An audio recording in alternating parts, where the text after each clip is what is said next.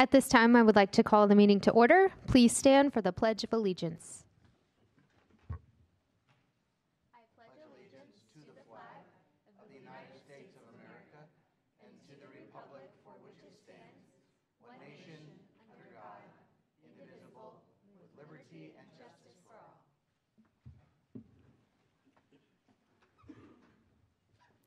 Thank you. Next, we have B1, audience with individuals. Ms. Densmore?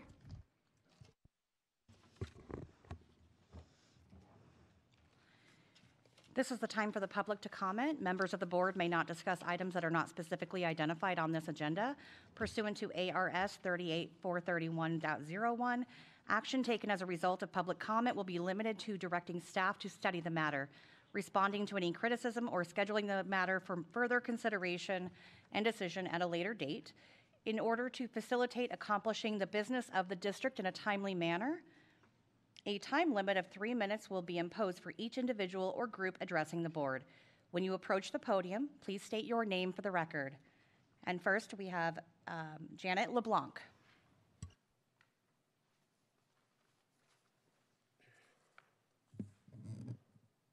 Good evening. My name is Janet LeBlanc. A few months ago, the board voted to purchase Savvas curriculum for a one-year period with the intent of researching and pursuing other publishers.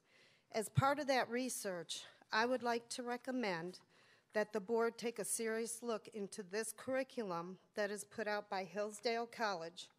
As you will see by their brochure, this curriculum is offered free of charge. Yes, you heard that right. It's free.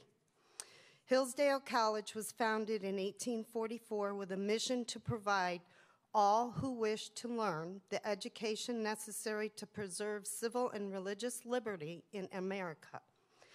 They understood, like the founders of our great nation, that free government requires independent, virtuous, and knowledgeable citizens. Who would not want that for their children? What school would not want sound learning for their students? Well, here it is and it's free of charge. And please don't claim that this curriculum is too focused on religious views. Unlike Savvas, that has CRT and SEL embedded within their curriculum, these courses are a true pick and choose option. There is no embedding. Their curriculum offers courses on politics, history, literature, philosophy and religion, economics, and mathematics and natural sciences. All are a la carte choices. And again, it's free. Please take a further look into this curriculum as a possible contender for adoption. As a free resource, this would not only free up thousands upon thousands of budget dollars, it would also allow Dysart to start eliminating the strings that are attached to federal grants. Federal grants hold Dysart hostage to certain stipulations that don't always live up to Dysart values. Just like the agreement you are about to enter into in consent agenda item number one. This is the time board to make changes for the betterment of Dysart, its students, and the community as a whole. Thank you for all you do. Thank you. Our next speaker is Mr. Larry LeBlanc. Excuse me.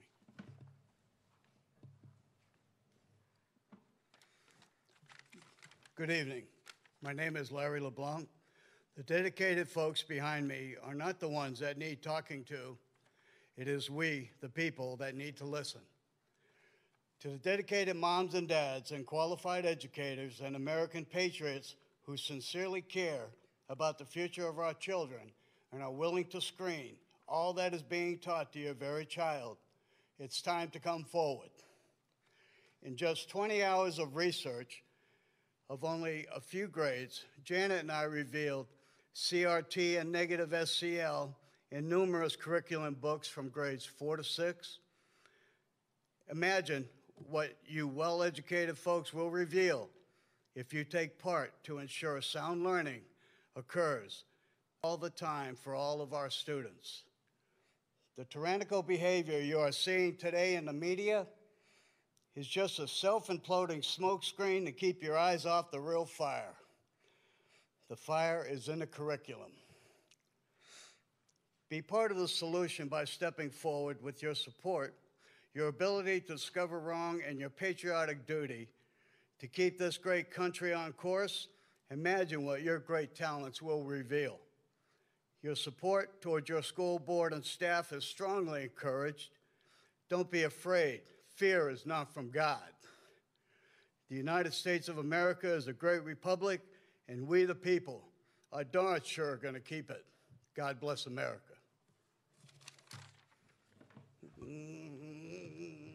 Thank you. Thank you. That was it.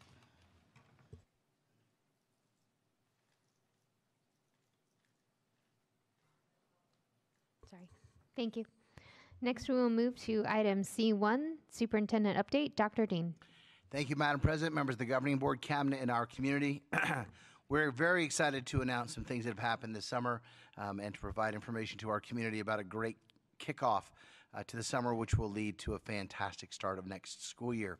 I'm excited to uh, let the board know that summer workshop was a success. And uh, all the planning that had gone into summer workshop from, I guess, about October on uh, really came to fruition during the summer workshop week. I know that uh, several of our board members had opportunities to um, to go through some of our summer workshop sessions, and our teachers did a tremendous job, uh, not only in working together um, to refine our curricular standards and to uh, maximize what we do each school day, but our teacher leaders did a great job in teaching that as well. And so, whether it was a, second grade uh, math group or a high school PE group or a high school econ group, middle school social studies group. It was great to watch our teachers work together.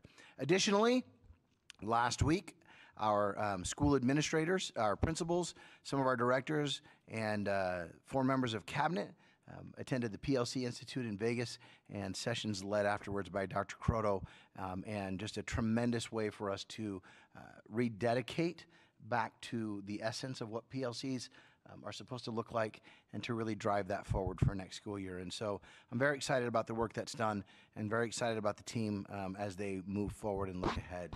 I would like to let the board know that summer school is winding down um, for our students, and uh, that will be over before we know it. Know it. Additionally, um, next week at West Point Elementary School, um, we will have active shooter training um, with law enforcement that will be led by our Navy SEALs, um, not our Navy SEALs, but the, um, our um, finest military Navy SEALs. They will be uh, conducting active shooter training one day at West Point. Information will be provided to West Point Elementary School. Uh, Mr. Musi will actually be talking to the businesses that are right next to West Point Elementary School because it will be very active training. Um, and so we want make people to understand this is a training, it's scheduled, and it's not live happening. So we're very excited about that. It's a great opportunity for our school district. And after 18 years of coming to and participating in board meetings in this outstanding school district, that is my final superintendent update. Thank you, Dr. Dean. Do we have an update from the incoming superintendent? Yes, we do. Dr. Croto? Oh, we're going to do it now. Dr. Dean, we'd like to invite you up here front and. Didn't think you were getting away. How many times do Which way goes? Arrows, follow the arrows.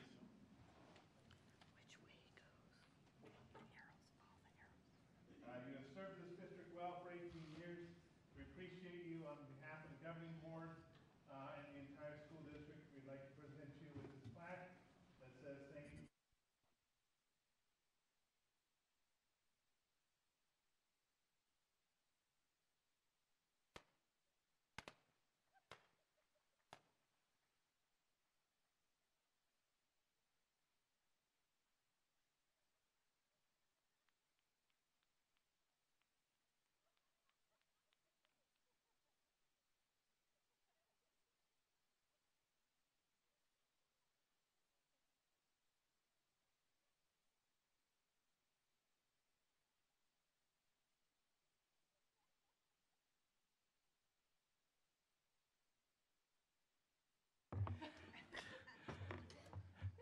I have a new superintendent update. I'd like to. Thank you all so very much, and I hope it didn't get in my hair. That's right. No, sincerely, thank you. It's been my honor to um, serve this district for um, the last 18 years, and it's been my pleasure to work with each and every one of you very closely this year. And um, I look forward to your continued successes. There are going to be many. Um, Dr. Croto will do an exceptional job, and um, I look forward to being your biggest cheerleader in, out in the community. So thank you all very much. Sucker. I mean, thank you. we will move on to C2, Governing Board Update. Um, I'll start this time. Dr. Dean, sorry, Joe. I know. I'm breaking it up. Let me. Um, on behalf of the board, in addition to your beautiful confetti that we just gave you, we all chipped in and got you another gift. Oh, thank you. You love my wrapping? Very nice. It's beautiful. It is very nice. I've got a six month old baby at home, sorry. Well, five month almost. It's perfect. Thank you very, very much. Oh, goodness. Um, I'll go ahead and finish and then we can all go on. I did not make the PLC conference. Sad face, but it looks like, sounds like everybody else did and got a lot out of it. It was great. I'm so glad that we got, that we had people going. It's awesome. Um, I was able to attend summer workshop just to tour it and see what was going on, and it was awesome. It was incredible. I mean, just to see our teachers who chose to be there, who chose to be engaged. And I think when I went, it was on Thursday, so it was later in the week.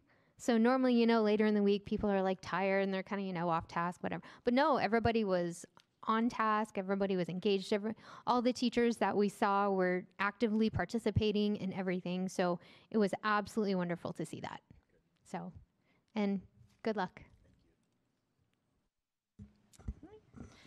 Um, well, so this being our last meeting with Dr. Dean, I just wanted to thank him for the hard work and dedications he, he's put into our district over the years, and say once again how much I have enjoyed working with him and the various roles he has held during his time in Dysart. I wish him outstanding success in his future endeavors as he embarks on his easy peasy dream job with AIA.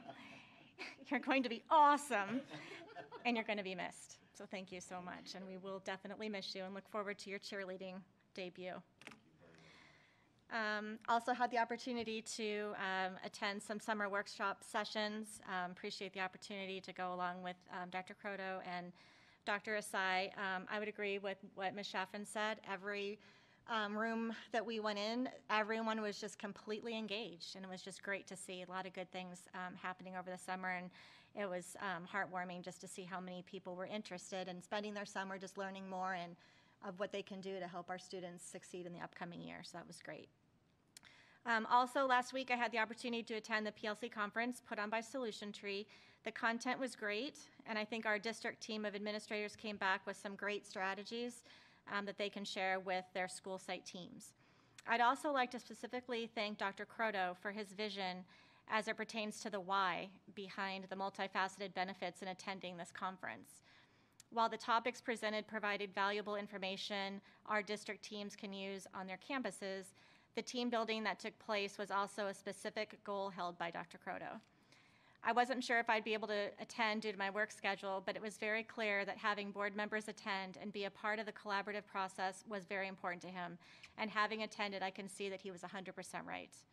Not only was it valuable for me to learn about how PLCs would be implemented in our district, but it was also refreshing to spend a couple days getting to know our administrators, share in the debriefing that occurred between and after sessions, and learn a little more about each other. So thank you again, Dr. Croto, for arranging this opportunity and seeing the value and positive relationships between the board and administration. I sincerely appreciate it. That's all I have. Um, I also attended a few of the summer workshops, and it was just really nice to hear from many of our educators, um, existing and brand new to the district, how much they were gaining from the experience. Um, I would also like to especially thank Dr. Croto for presenting the workshop concept to our district, and I really do think that it's innovation like this that will truly make our students successful. Um, I also attended the PLC conference with our district and site leaders, This was an incredible experience for me to be able to connect and collaborate with our principals. I believe that collectively we gain different strategies in building a really dynamic and exciting culture and have renewed, have a renewed sense of purpose in student success. Um, I would also just like to thank Dr. Dean for the last little over a year and, and, and, and beyond because you have been, even not in the superintendent role, you have been a great support to me as a board member and you will be dearly missed. That's it.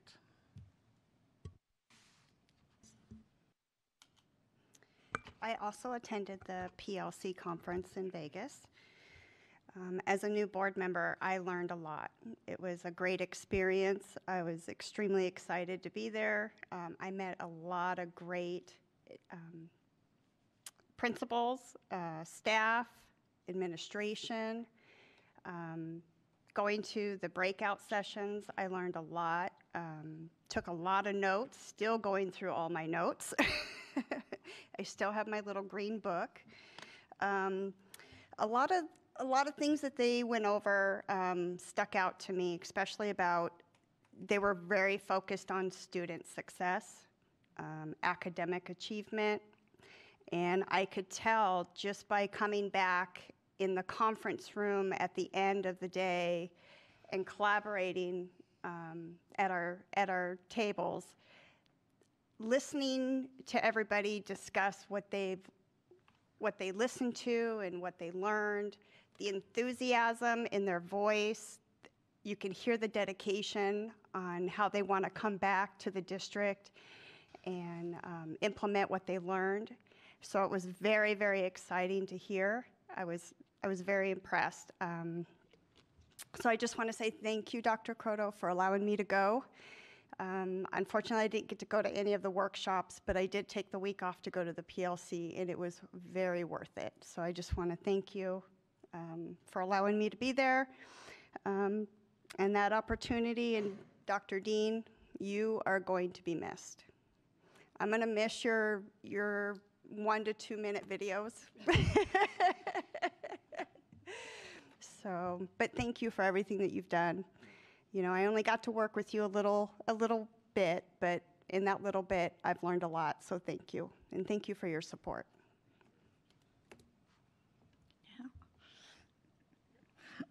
Um, I also attended uh, the um, summer workshop, and uh, it was really interesting. So thank you so much for putting it together. I think it's a great idea, especially for the new teachers in the district. And I just want to say thank you to all the leaders and the teachers who participated in these workshops. I know it's summer, and that was very encouraging to see, but thank you for your service. And Dr. Dean, thank you for your service to, to Dysart. And AIA is really lucky to have you.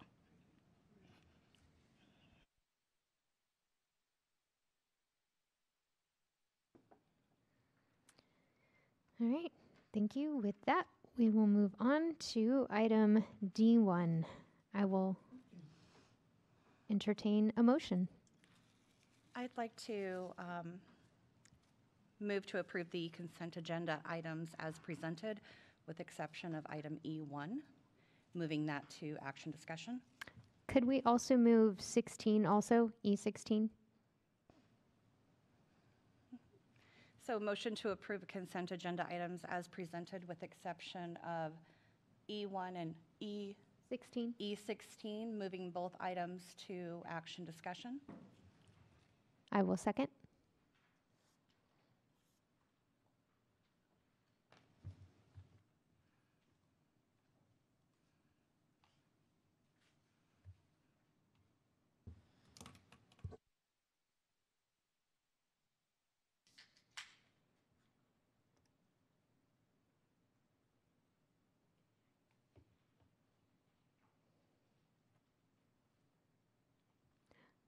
Motion carries. Oh, sorry. Motion carries now. I thought I saw it up there. Okay. So we will move on to item F1. Dr. Dean. Thank you, Madam President, members of the governing board, cabinet, and our community this evening. Dr. Croto and Dr. Asai will uh, introduce these items. I would note to the board that Due to an unexpected issue today, uh, West Point Elementary School will, or I'm sorry, Kingswood Elementary School will not be presenting this evening. Um, They will present at a later time. So with that, Dr. Croto. Thank you, Dr. Dean. Madam President, members of the board, uh, we will begin our CIP presentations tonight with uh, Cimarron Springs and the principal, uh, Miss Ginger Richards. Ginger, it's all yours.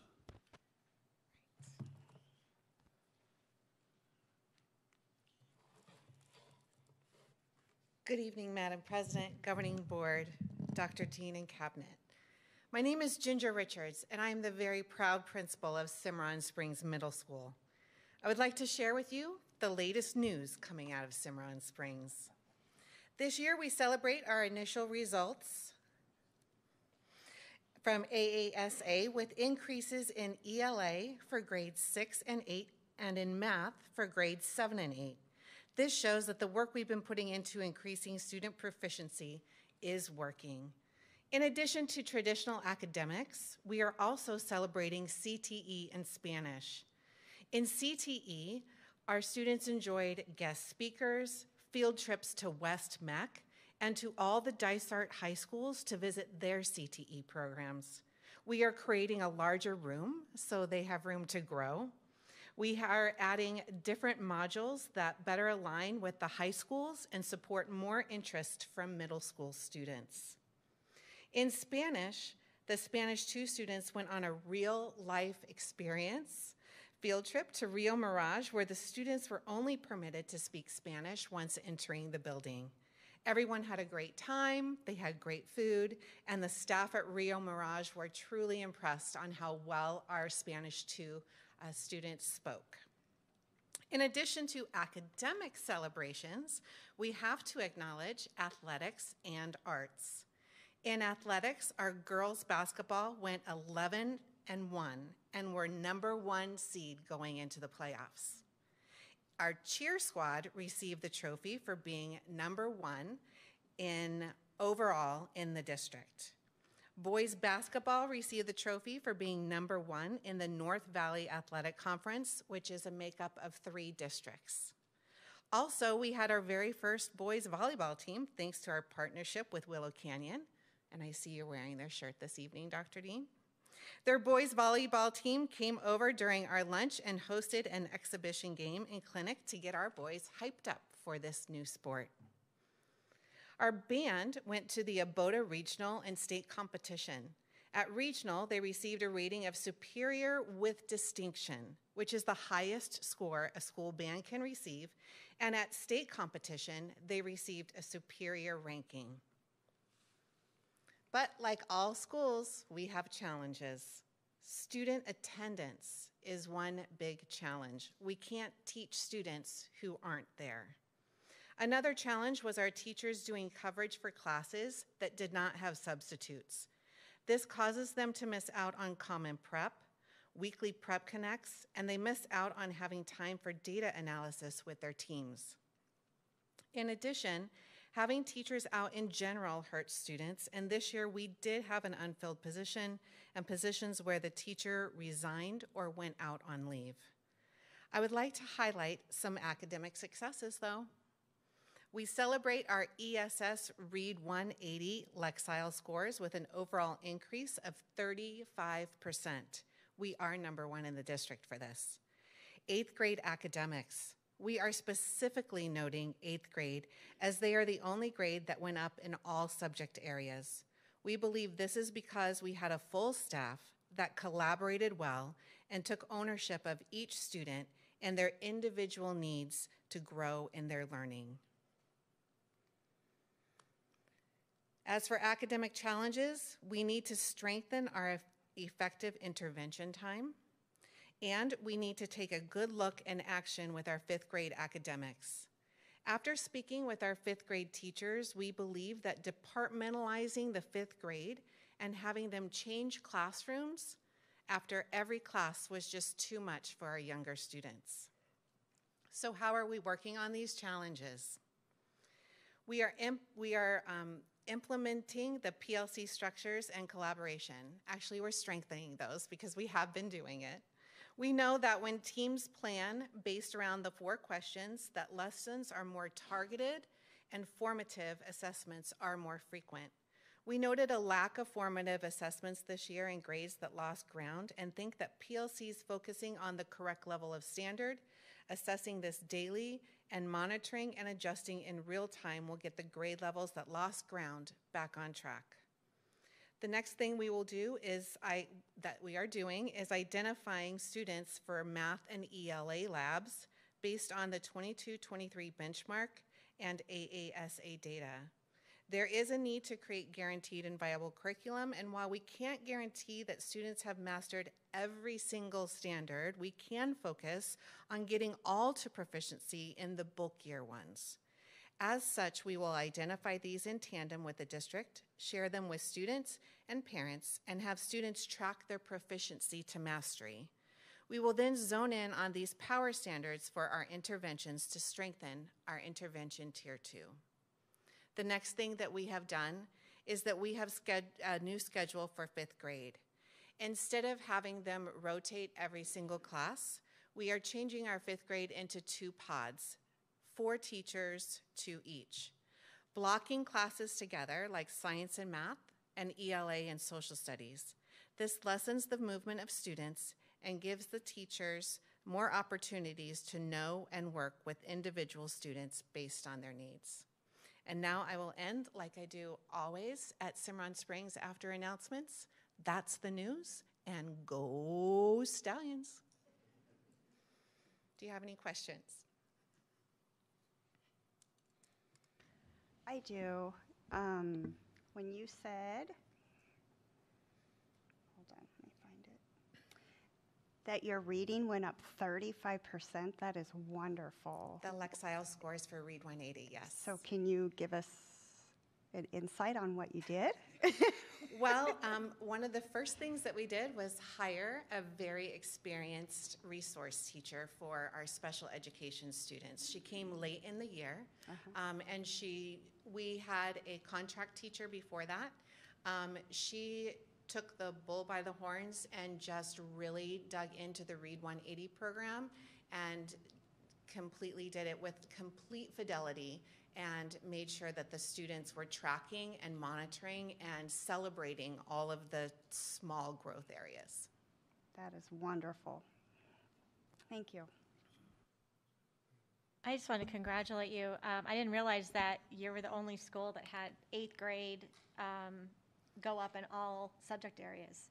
That's amazing. And Thank you. I'm sure that your feeder high school is thankful because I know that's a that's a concern. Basically, what what who the um, high schools inherit, you know, basically that determines how much work they have to do. So I'm sure they very much appreciate, as do the students and families. Yeah that um, you're presenting students that are where they need to be and ready to learn ninth grade. So good for you. Thank you. Thank you very much. I hope Adam Schwartz appreciates that.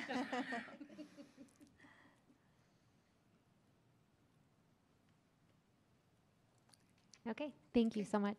Thank you.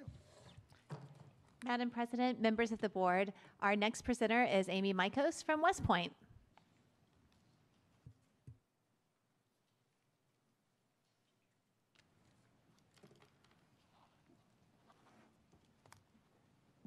Good evening, Madam President, members of the board, Dr. Dean, and members of cabinet. My name is Amy Mikos, and I am the proud principal of West Point Elementary School. And it is my pleasure to be here tonight to share with you the progress that we are making towards our continuous improvement plan. So, as we talk about celebrations, one of those is our K 3 reading curriculum rollout. We have received positive feedback from teachers um, on the professional development that was provided and specifically, teachers felt supported when they came back to campus. Um, our TLS worked very hard with those teachers to understand how to connect the curriculum with the standards. We are proud of the progress that we made on strengthening EL instructional practices for our English learners. This included training on EL standards, supporting teachers with integrated and targeted instructional practices, providing walkthroughs with feedback to teachers, and providing before school tutoring that targeted language acquisition. Campus improvement projects and beautification of our campus had a, um, or is another celebration as it impacts our climate and culture. As you know, we had a long um, construction process with our new driveway, We have a fresh coat of paint, a new roof, and classroom window wraps were installed the last week of school. And I do want to sneak in one more celebration that's with our arts and um, athletics. Our campus had Willy Wonka uh, performance at the end of the year, and we're working to strengthen our dance, band, and orchestra programs.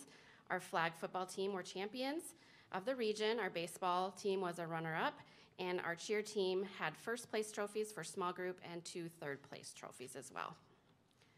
Like all campuses, we have challenges. Our first is staffing. Um, we know that our most important resource is our teachers and our staff. Some of our challenges this year with staffing were that we had five teachers resign in the fall after the start of the year. One of our first grade sections was unfilled all year, leaving a class size of 32 first graders, if you can even imagine. Two uh, math interventionists and a social worker also remained unfilled, and we are currently still working to fill for this coming year. Absenteeism was a struggle, just like you heard um, with Ms. Richards. We had 195 staff absences that did not have sub coverages. So when I calculated how many prep coverages that is, it's 1,755 missed preps. That's a lot. Um, student absenteeism is another struggle at West Point. It's consistent um, across the country. We had 200 students with 18 or more absences, and that's just a lot of learning loss. We do have some successes to celebrate. Um, the initial third grade AASA data indicated that we have double digit growth in both in third grade for reading and for math. And our third graders also had higher than expected Acadience growth. And um, we also anticipate that we have nearly all of our grades showing growth in proficiency on AASA.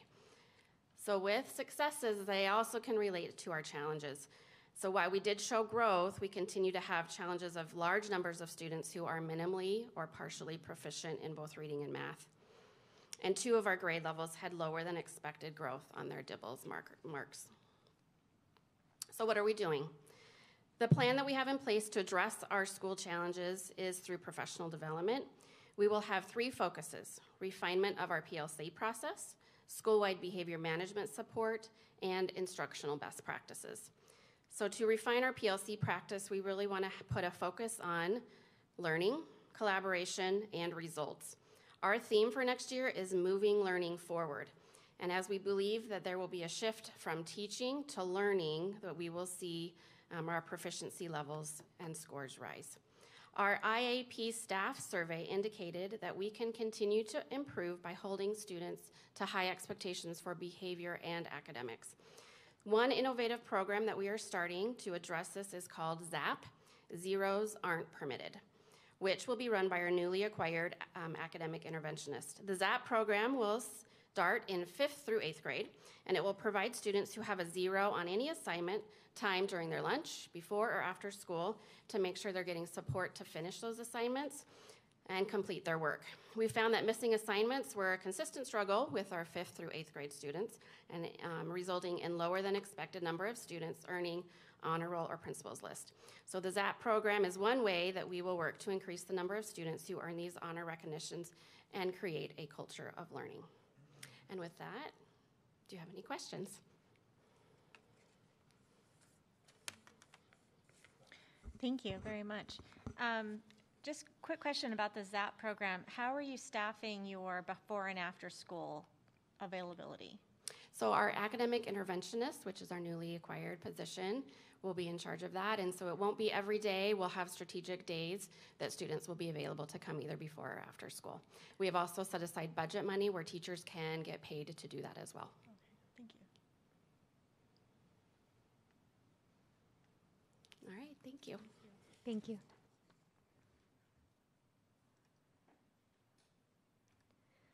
Next, we will move on to F2. Dr. Dean? Thank you, Madam President, members of the Governing Board, Cabinet, and our community. I'll turn this item over to Dr. Croto for presentation. Thank you, Dr. Dean. Madam President, members of the board, cabinet, and guests.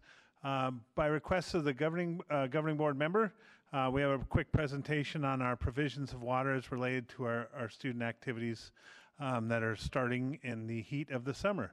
So, who supplies our water? Uh, in, a, in a nutshell, our athletic trainers uh, on our high school campuses. They provide water jugs for all our sports, uh, including band if requested.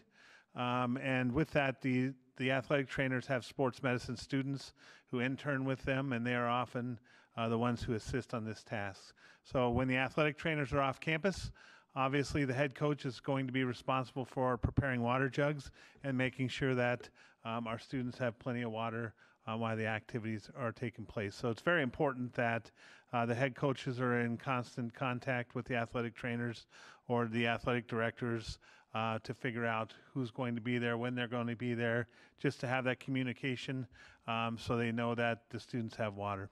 Um, also, uh, as a note on this presentation, is the athletic trainers are constantly they have um, they have weather bulbs and they're constantly uh, determining the weather conditions on our fields. So when it's time for increased water breaks, uh, how much amount of activity are outdoors, uh, those are called wet bulbs that they monitor. Uh, that comes across their phones. We just got brand new ones for them. Uh, so they check the humidity levels, and with that, there's heat guidelines that you can see listed there as far as um, when our students should participate, and it's relative to the humidity and the temperature outside. So we have a constant um, a constant watch on that, especially as it's starting to get hot now. Um, in, in this week and next week, and we definitely have a plan on who is supplying water and, and how students get water. So, with that, I will uh, stop for any questions. Thank you for putting this presentation together. Um, Since this was my item, I just, I just have a couple questions. When it, I- you mentioned band in here, and I, I really appreciate that, because that's where my brain automatically goes, just being a band mom. But obviously, we have the concern with sports. But with band, it's, it, is this stating that athletic trainers are going to provide water for marching band? Athletic trainers will provide water um, if requested for the band. So they again they have to be in communication, um, and they're, as long as they're on campus. It's, sometimes they're not on campus, so they're not available, but. Um, they will do it. We've been in touch with all the athletic trainers and talked to the athletic trainers, so they will be able to do that if requested, and that they're there at the same time. Okay, so obviously this is not just for um, an active game, uh, district-sponsored game, but this would be for practice That is as correct. well, And, and summer camps. Correct. Okay, so um, I just wanted some clarity. At no time, while we might accept the offer, obviously, at no time would a parent organization be responsible for providing water for students. Uh, Madam, Madam President, Member Densmore, um, they, They I guess. I guess that they can. Right. We don't require them to do that. That is obviously the school's responsibility and the head coach or the sponsor of the band. Right. Um, to fulfill that. So they can do it. We don't tell them they can't, but it is not required of a parents club to do that. That is a school responsibility and obviously the coach or, or the sponsor's responsibility. Right. Um, I think with most of our, our sports and, and outdoor activities, especially over the summer, just in, in the warmer months, uh, I know that it's, it's common for a coach or a teacher or sponsor for whatever, you know, however you want to phrase that, to request that the students bring their own water to the field. And that, that's practical and it makes sense. Correct? But in the event that a student forgets their water, at any time would we not allow a student to go and obtain water? Would we ever tell a student that they cannot leave the field to go get water? Absolutely not. Obviously, we, we tell our coaches and, and our band teachers they are to build in breaks in their practice schedules. We have those meetings with them, Right. uh, and more breaks needed as the temperature rises and it gets hotter, obviously, and it depends on what type of activity. Um, you know, if you're in, in a football practice, for instance, and you're covered with pads and a helmet, you need to pay attention to that because that's a hotter environment. Um, but at, if a student needs water, um, a student should be permitted to get water.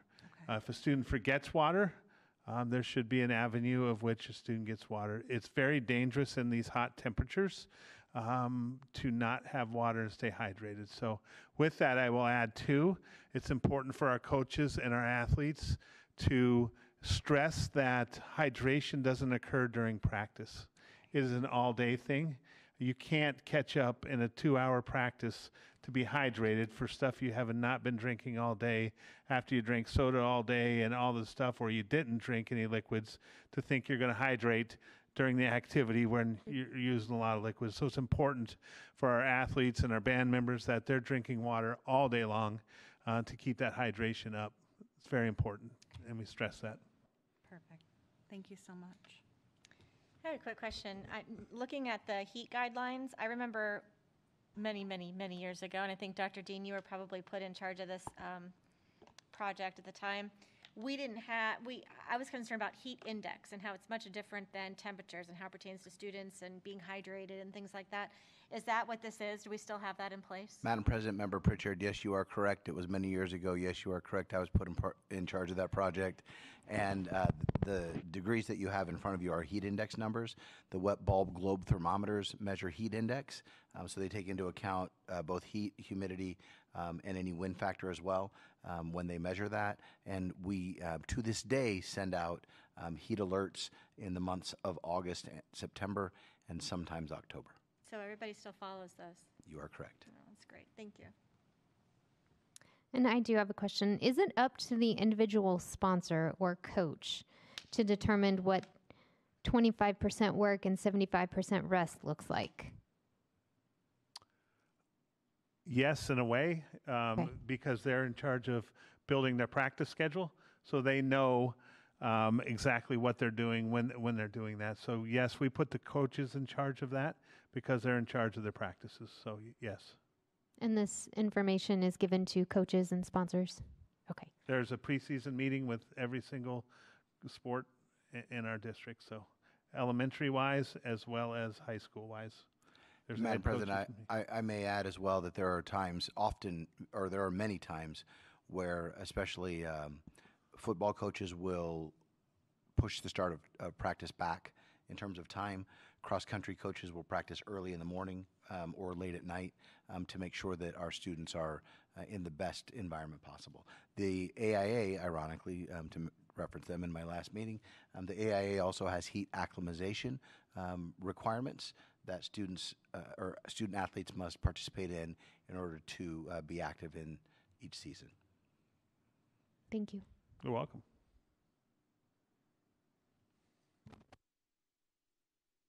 Okay. Next, we will move on to item G1. Dr. Dean.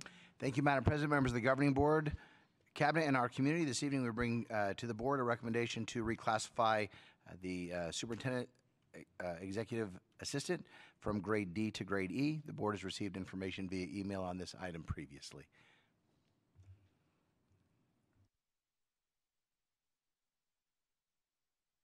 Do we have any questions?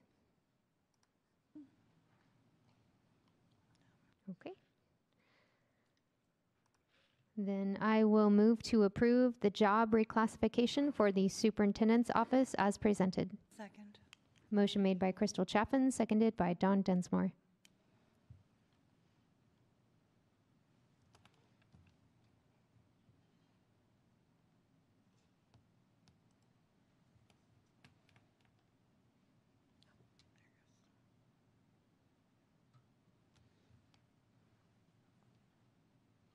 Motion carries.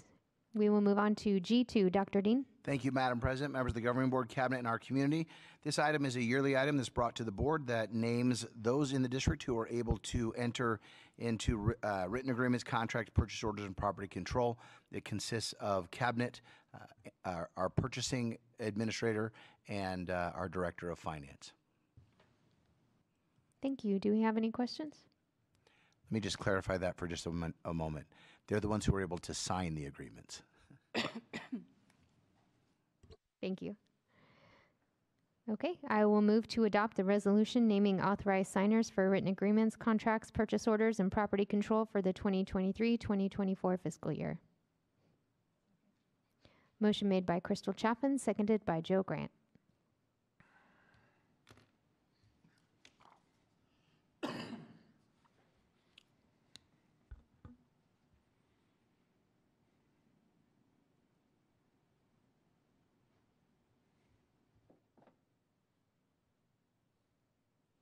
Motion carries. We will move on to G3. Thank you, Dr. Madam Dean. President, members of the Governing Board, Cabinet, and our community. This evening, I will turn this item over to Dr. Poling. Good evening, Madam President, members of the board, cabinet, and community. Administration is proud to recommend Nestor Felix for the position of Assistant Principal at Valley Vista High School for the 23-24 school year. Mr. Felix received a master's degree in educational leadership from Capella University. He has extensive educational experience as well as five years administrative experience with Glendale Union High School District. He will receive salary and benefits commensurate with the position, his education, and experience. His resume is attached for board review. A comprehensive selection process was used to identify Mr. Felix for this position. And with that, Mr. Felix is with us this evening, and with that, I'll stand for any questions. Thank you. Do we have any questions? Okay. I will move to approve the appointment of Nestor Felix as high school assistant principal. Motion made by Crystal Chaffin, seconded by Christine Pritchard.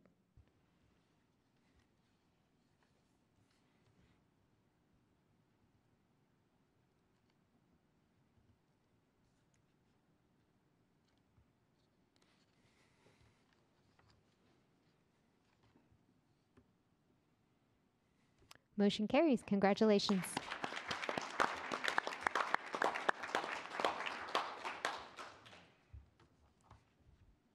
Thank you. We will move on to item G4. Dr. Dean?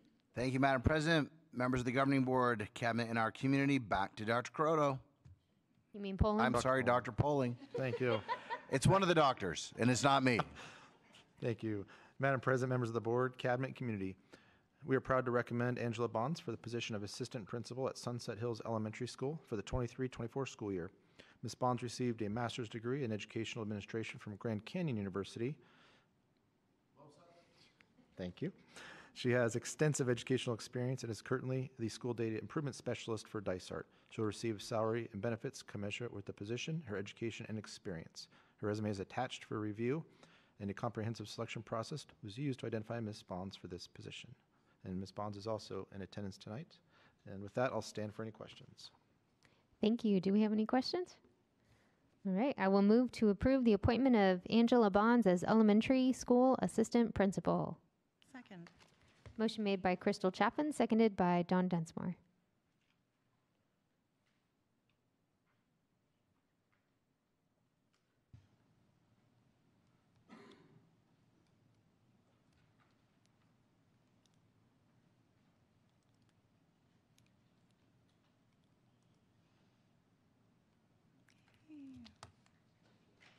Motion carries. Congratulations.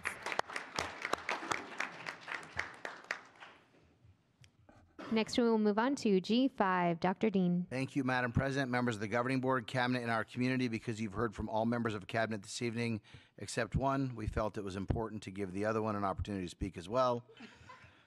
And so Mr. Hicks will be providing information on the 23-24 proposed budget. Thank you very much. Good evening, Madam President, members of the board, Superintendent Dr. Dean. Um, uh, Thank you very much for the Mr. Hicks, I don't think your microphone's on. It is on. Sorry. My apologies. Um, I guess uh, I'll I'll be missing this banter. Mr. Hicks, I think your microphone is off again. Um, I know we've talked a lot about the budget in the last few months, um, uh, and and Oh my God. Renee, can you check the light first? Thank you. Thank you very much. Mr. Hicks, is your office locked?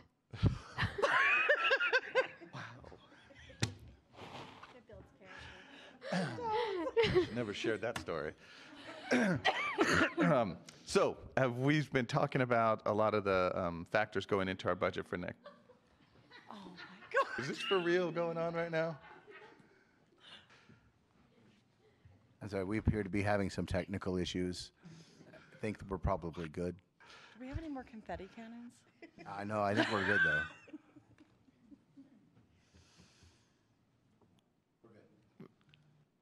Okay.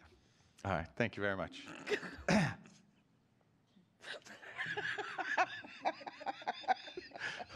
Hey, they did it to me too, so we're good. I guess I didn't think of it as abuse until you get it done to yourself. I guess, sorry, I apologize for that. Okay, Mr. Hicks, we are now ready for your proposed budget. All right, thank you very much. So, as we have worked through the budget stuff the last three months a lot, um, we actually started back in October, November, working on student projections. Um, we worked on our student benefit package, our records retention stipend in January, the benefits in February, um, the IBA recommendations from last month, our legislative budget process, uh, our legislative budget from last month, um, the projected increases, uh, utility rates, our inflation impact, our minimum wage. the with all of that, the marvelous Miss Marydell Spidell and her amazing team take all of those different inputs and they um, take the state budget forms and they put it all together. And so we now have our state, our actual proposed budget that we are asking for approval. the approval of this budget, um, it will allow us to post it. It is a two-step process, which is a very good thing uh, because what we want to do is be able to post that this is our approved proposed budget that will be considered on Jan- July 13th so that our community has a chance to look at it. So once uh, tonight's done, we will post it um, on our website. We'll get it done, post it on ADE's website, all the appropriate postings so that our community can take a look at it. I know that I stated uh, during our IBA recommendations that um, our Arizona leg- legislature did an amazing job for school districts. This is the second year in a row that they've gone above and beyond with funding, um, beyond what my projections were and where I was hearing we were going. So we are very appreciative of that, and we're very appreciative of the support of our community that provides to our budget as well. So we're very thankful. Um, the additional funds, there were additional funds that came out of it, out of the budget process uh, with the legislature. As uh, discussed during our IBA recommendations, our IBA uh, process was to not commit those funds and just to hold them for uh, the future for next year's budget. And so this has all those um, additional revenue, but uh, we really just put it into our reserves and not committing it to future expenses. So um, with that, um, I will wrap up the proposed budget and stand for any questions. Thank you, Mr. Hicks. Thank you very much. Do we have any questions? Dr. Dean, do you have any questions? I do not have any questions at this time. Okay, with that, I will move to approve the 2023-2024 proposed budget. Second. Motion made by Crystal Chaffin, seconded by Joe Grant. Oh, Jenny Drake.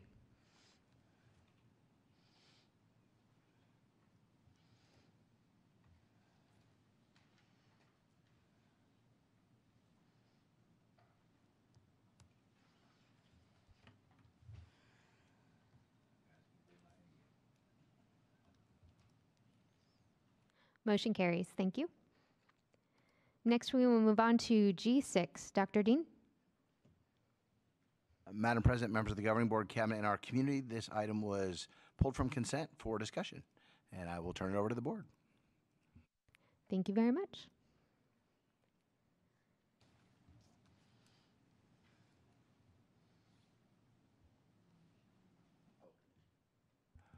Hold on just a second. We're not sure. This is actually is a real technology glitch.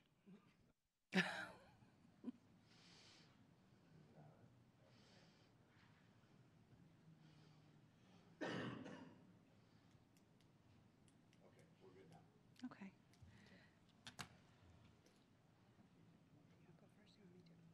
Um, we're doing the, hold on.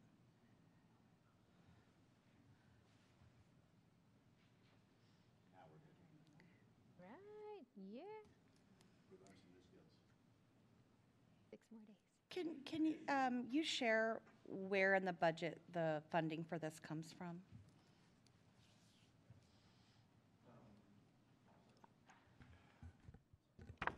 Madam President, I'll Madam turn this to Mr. President, Hicks.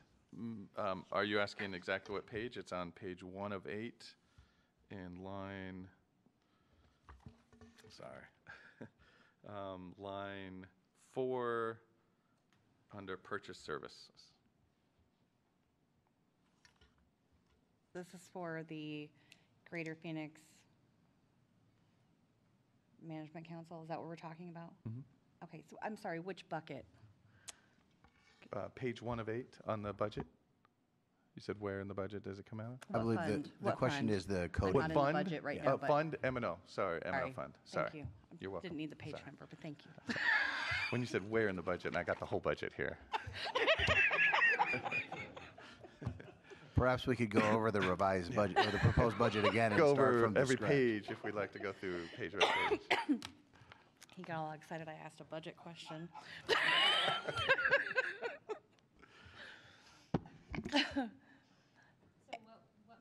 What was what was the answer to that question? Uh, M and Madam Pre- M- I know. M and O. Thank you. Uh,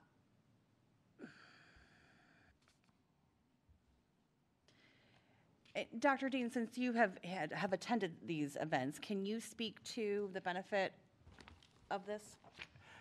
Uh, Madam President, Member Densmore, I, I can speak to the advantages that we've had in being part of Guppy Mech. So, uh, the Dysart School District has been part of Guppy Mech for as long as I've been at the district office, which has been 15 years, perhaps earlier than that. Um, we are one of the larger districts in Guppy Mech. As a matter of fact, I believe the largest districts uh, consists of us, Scottsdale, Chandler, and I believe Deer Valley are the largest um, school districts that are involved um, in Guppy Mech.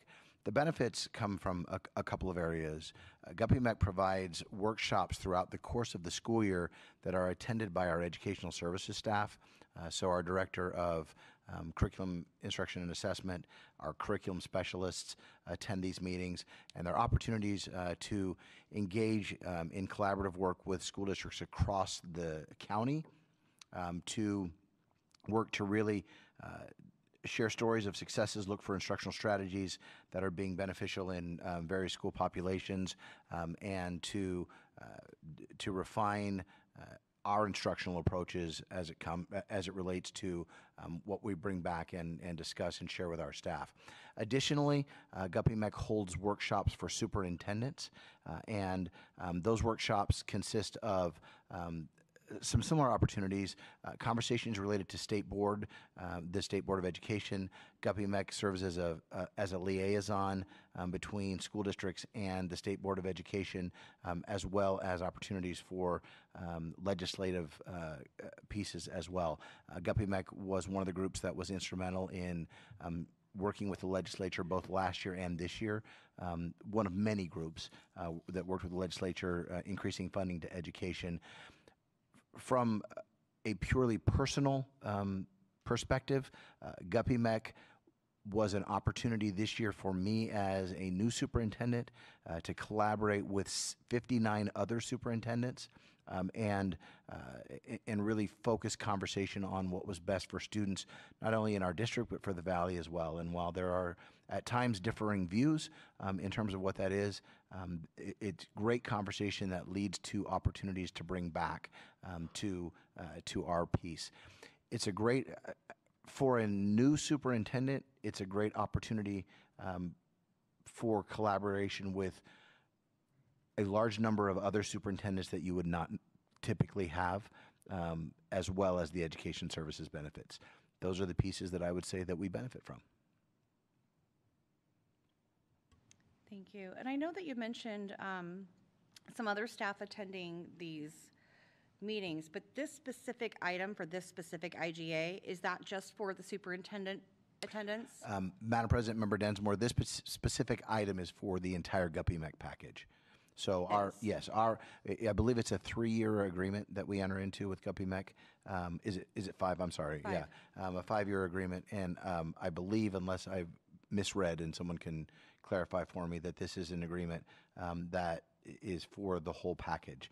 Um, the amount that we pay as a district is, or that all districts pay is based upon your student enrollment. Um, and we are, as we are one of the larger districts in Guppy Mech, we are in the, the highest tier. And I believe the amount for the district per year is $10,049 or 94. I may have had a little bit of a dyslexic moment there. Do you have any questions? No. I just have a couple of things to clarify. I was listening to you speak about it. Um, Would you say, as far as like what, as far as new superintendent goes, ASA, do they provide a lot of that um, guidance and mentoring and education? Madam President, uh, Member Pritchard, I think the answer to your question are, these are two different, um, two different organizations. Uh, The, the biggest piece from a mentoring perspective um, that's provided to superintendents in the state now is through Grand Canyon University and their superintendent collaborative network. Um, I was part of that. Dr. Croto has signed up to be part of that as well, and that is free of charge to uh, to school districts. You're provided a mentor. Um, Grand Canyon University works with uh, you work not only with your mentor but with Grand Canyon University four times during the course of the year. That's great mentorship. Uh, ASA and Guppy Mech have different. Uh, different missions and different approaches in terms of what they're doing. Um, Guppy Mech is, is sub- focused substantially more on um, the educational end of of schools. ASA is focused more on um, the school administration end um, and uh, administrative types tax, tasks. And am I reading this correctly, just in looking at their budget? Am I reading it correctly where it looks like the majority of that, of their revenue goes toward the salary of the executive director and the advocacy coordinator salary of like $260,000 of the 405,000? Madam President, Member Pritchard, according to this document, that would be correct. I would note that in just looking at this uh, quickly, that um, it states that that is salary and benefits um, for both of those pieces. Um, so that would be a total package for the two staff that are listed there with Guppy Mech. But still, the majority of their revenue that, the- goes to that. It would appear to be uh, more than 50%. And um, I just noticing Peoria, which is one of our neighboring districts, I don't see them on the list as being members. We probably don't have any information as to why. Madam President, That's odd. Pritchard, I've never worked in the Peoria School District. Neither is Deer Valley. Deer Valley's not on there. Okay, just curious if you knew why they weren't on here. I do have a question. So, when you have these professional developments, who designs the workshops and the programs? How how is that decided? What is going to be presented to the superintendents and the people attending these sessions? Madam President, the answer is uh, to that question is that uh, Guppy Mech also holds uh, boards for each area. Uh, so there is a working uh, board for uh, the education end. There is a working board for the superintendent end as well. Uh, we have had uh, we have had our staff um, serve as presidents of those boards um, in the educational services end uh, or uh, or working uh, components in that board as they work to design that. So we've had a really big hand in that in the past in terms of that piece. Um, as a new superintendent, um, I felt it wasn't appropriate for me to uh, be part of that board, even though I've been parts of other boards before. And then, how closely does the Guppy Mech? Um, how closely do they work with the? ADE? Madam President, I'm not certain how closely they work with ADE. Um, I do know that um, that they, as well as ASA, ASBO, um, other alphabet organizations, um, you know, seek out opportunities to work with both the legislature, the State Board of Education, and ADE as well. In terms of their frequency, I don't know the answer to that question. And then, do you know, having attended some of these, what types of subjects, what types of uh, professional developments, what are some session topics that are presented to a superintendent or anybody else?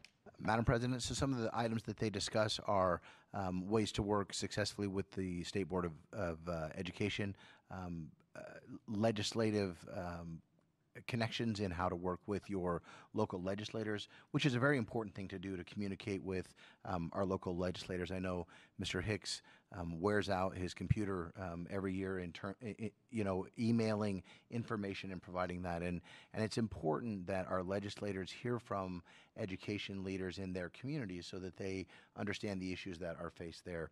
Those are a couple of the big uh, projects. Additionally, You've seen in many uh, CIP presentations uh, that absenteeism is an issue. It's an issue not only in the state, it's an issue in the country.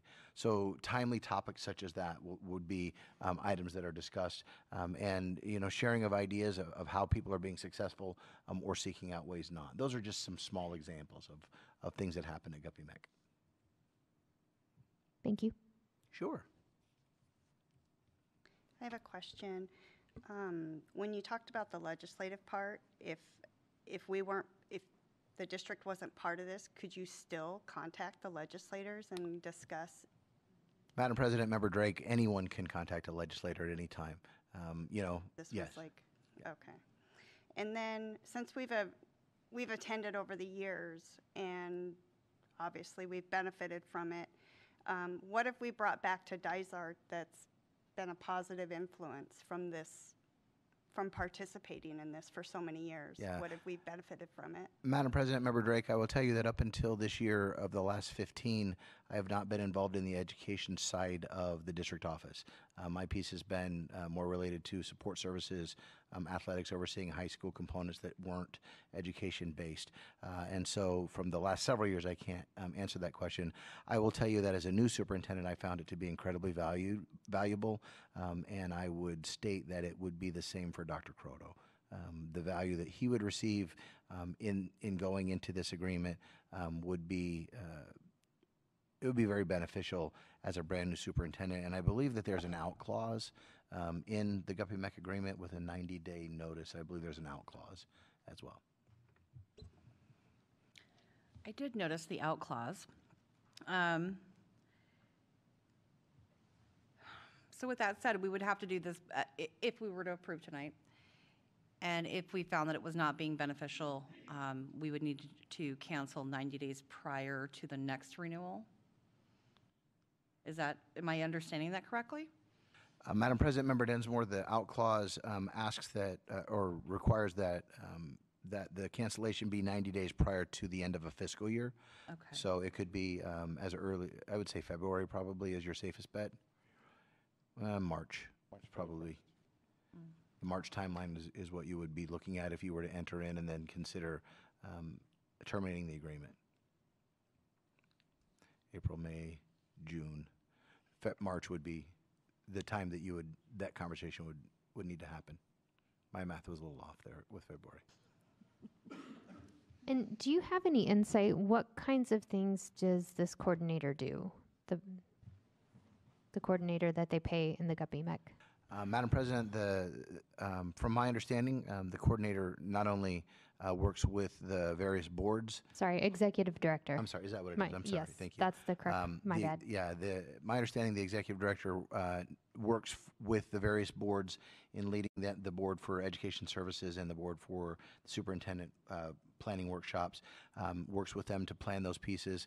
Um, He facilitates all of the Guppy Mech meetings throughout the course of the year. Uh, He is, he is the liaison uh, between the State Board of Education and the 60 school districts. Um, He's the one who would seek out opportunities to meet with uh, the governor's education staff, ADE, uh, uh, as well as um, the State Board of Education, and then would also facilitate conversations as it relates to Guppy Mech's um, concerns and/or um, support interest to uh, the legislature as well. So if I'm looking, thank you so much. Thank you for that. Thank you. If I'm looking at the budget, the executive director salary full time is 160 grand 930 for the whole package. And then is is this how it's broken down? The contract it looks like it's got 160,000 $930 for salary and benefits. And then it's got consultants, another 8,000. Um, then we're paying indirect costs and dues and fees. I'm not quite sure. Do we know what the dues and fees are? Or is this are these memberships for the executive directory and the and the advocacy coordinator, or these memberships for our superintendents and staff who are part of this? Madam President, uh, I'm going to assume um, that it's the first part of, of what you discussed. It is Okay. not related to benefits for um, our staff. Um, However, one piece I might add is that um, there's nothing timely to tonight's agenda with this, and we could actually seek out additional information from Guppy um, and/or have their executive director come to the next meeting in July um, and answer questions directly to the board or provide information directly to the board as it relates specifically to their budget. I'm I'm not involved in their budget enough to answer those questions. Okay, because it looks it looks like he's getting a base salary, but then they're getting all this other money. I, I don't know if it looks like. Does it look like this is stuff we're paying, or Yeah, understand. Okay, I- You know, I, I, I- their, their membership, or their, their budget is based upon membership dues. Um, I believe that they are, again, I'm going off my own understanding and not knowing their budget, but I believe that, the- I know that the vast majority of their budget comes from membership dues. Uh, In terms of exactly what that breakdown is and where it goes, I don't know the answer to that question. But we can get that for you. Thank you. And I'm just curious, because uh, there's a lot of mention about another school district um, in the IGA document. Mhm. Are the meetings located at that school district? Madam President, Member Densmore, you're, I believe you're referring to the Fria School District. So um, the, the handling of the budget for Guppy Met goes through the Agua Fria School District. However, um, the meetings are held throughout the county. Uh, And the, um, they could be anywhere from, uh, there was one held in the Southwest Valley recently. Earlier in the year, there was one held in J.O. Combs um, School District, which is a really long way away from here, right? Um, They're held in the North Valley. um, They're held all over the place. They rotate. Yes, they, thank you, they rotate. Okay. I'm feeling like we probably have overwhelmed you with a lot of questions about this. Uh, And and I'm sorry, I just don't It's know okay. the answers to some of And- them. and- No, no, no, that's okay. Yeah. But I, um, I like the idea of maybe tabling this until the July meeting. I don't know how everyone else feels And, about and we can certainly reach out to, um, to Mr. Carlson, their executive director, uh, and, and gather more information and um, make sure that Dr. Croto has that for you for the next meeting. Okay. Uh, does anybody else have thoughts? I'm fine with tabling it. Okay. Um, I move to table the uh, IGA with Guppy Mac, um, bringing that back until, um, in the July meeting. Motion made by Don Densmore, seconded by Christine Pritchard. I believe it's July 13th.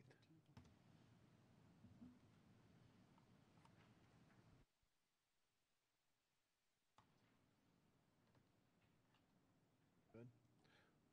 Did you get who made the motion? Don. Don, seconded by Christine. Christine.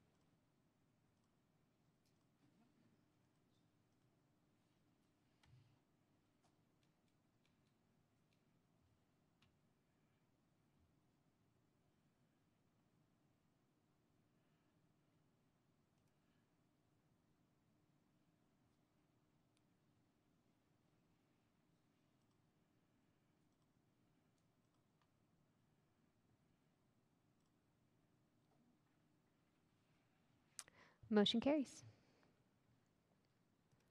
Next, we will move on to G7. Dr. Dean? Thank you, Madam President, members of the Governing Board, Cabinet, and our community. Um, This item was uh, requested to to move from consent to action on discussion. I'll turn it back to the board. Thank you. Did you do it again? Did we do it again? Oh, yeah, I got it. Oh, my mic's still on. Yes.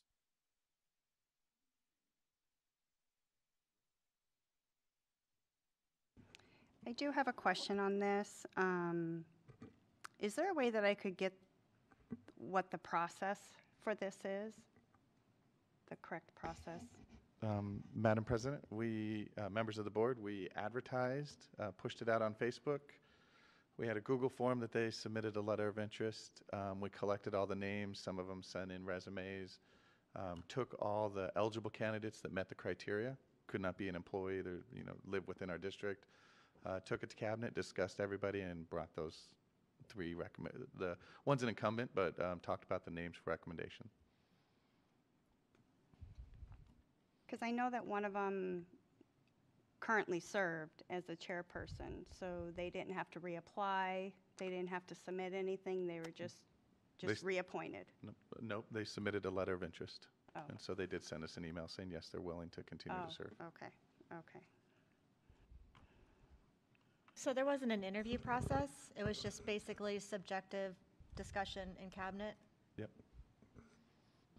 Is that unusual that you would have an interview process? Um, Madam President, um, I don't, I think this started around 2009, 2010, so I wasn't here at the very beginning. The last six years, we've just had vacancies. When we promote, we don't get anybody. Sometimes we just take whoever we can get. Um, and so really, we're just looking for letter of interest. There's not a lot of qualifications. We're looking at an overview. Um, we're looking at making sure there's an oversight, reviewing recommendations, and making sure that we're looking out for the wellness and well-being of our employees through the benefits plan.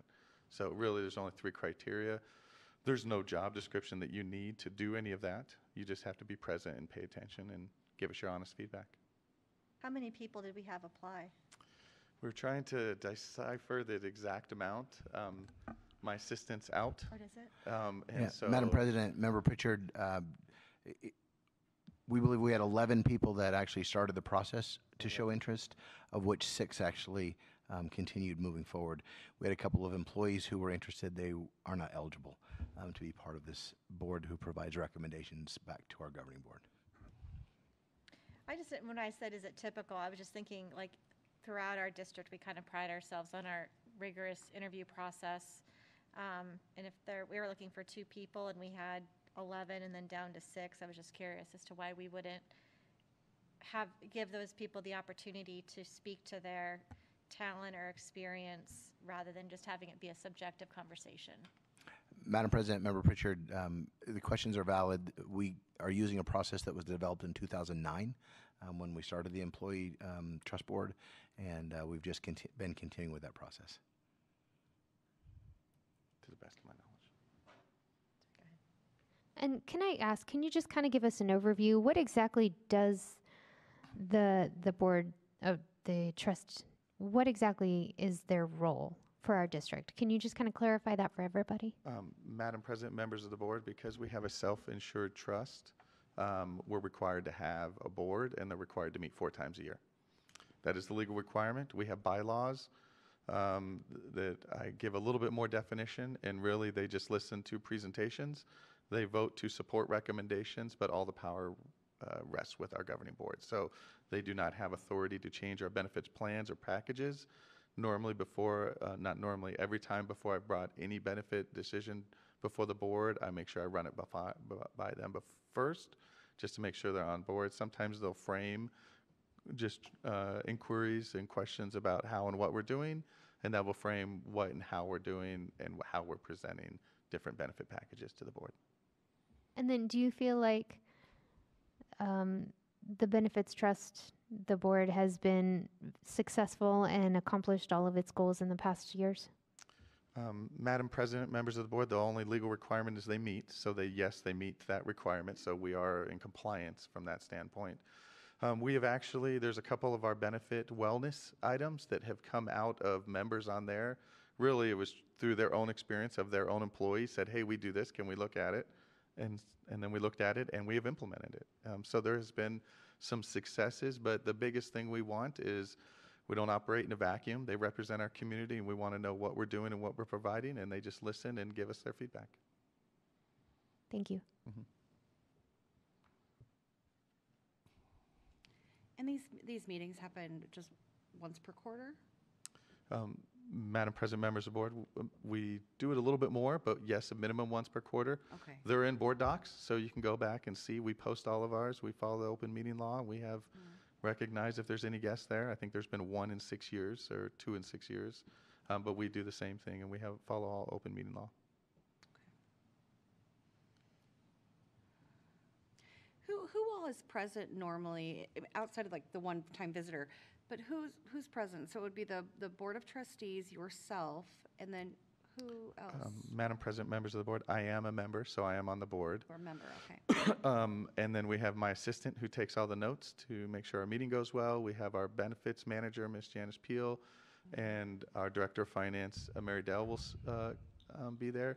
Sometimes we'll have our benefit consultants, and sometimes we'll bring in Blue Cross Blue Shield people or different benefit providers.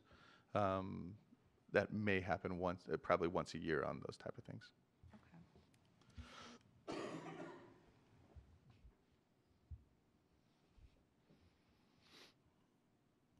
Do we have any other questions?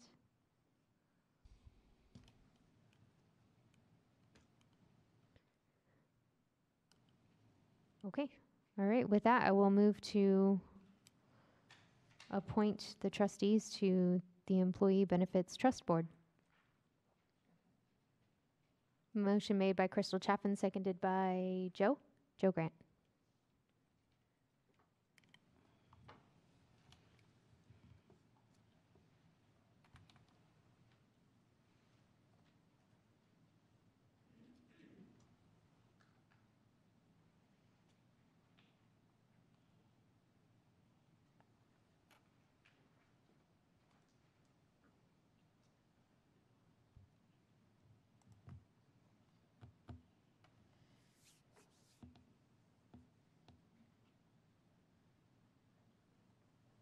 Motion carries.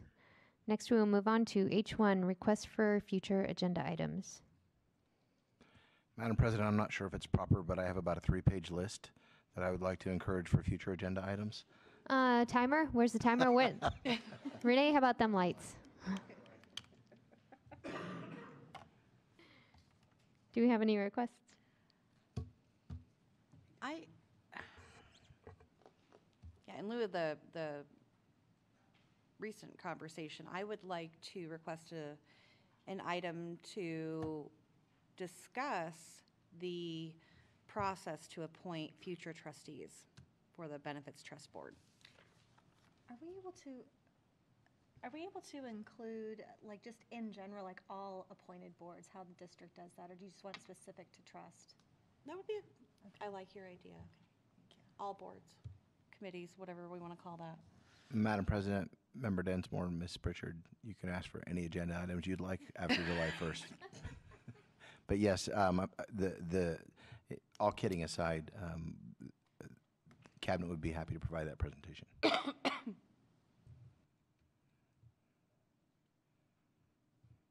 Thank you. Do we have any others? All right. With that, that leaves us to I1, another confetti cannon for Dr. Dean. Just kidding. Motion to adjourn the meeting. I move that we adjourn the meeting. Motion made by Crystal Chaffin, seconded by Don No. or Joe. Jenny. Both of us, so whoever. Pick one. I'll do it. Jennifer Drake. It's hard to hear. Like I hear a voice down there. I guess I'll scream.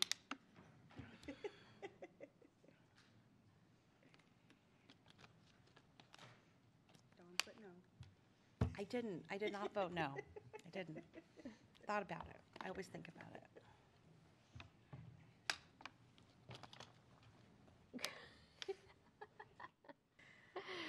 Motion carries. We are adjourned.